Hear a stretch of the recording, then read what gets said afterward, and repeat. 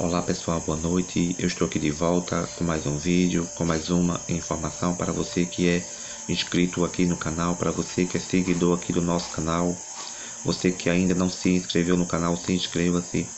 Deixa aí o seu like, deixa aí o seu comentário. Diz assim a matéria.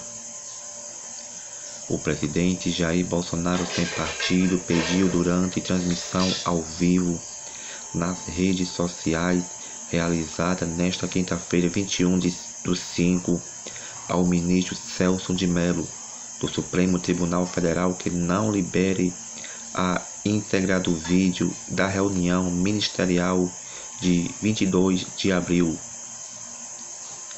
O encontro foi mencionado pelo ex-ministro da Justiça Sérgio Moro como prova de que o presidente Jair Bolsonaro havia tentado interferir na Polícia Federal o que resultou na abertura de um inquérito na Suprema Corte para apurar suposta interferência do presidente na corporação.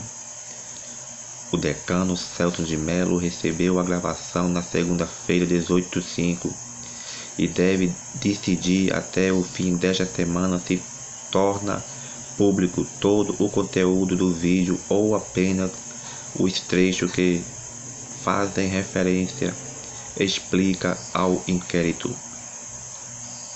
Eu estou adiantando a, de, a decisão do ministro Celso de Mello. Não tem nada, nenhum in, indício de que, porventura, eu interferia na Polícia Federal naquelas duas horas. É isso aí, pessoal. Gostou do vídeo? Se inscreva no canal, deixa aí o seu like, deixa aí o seu comentário.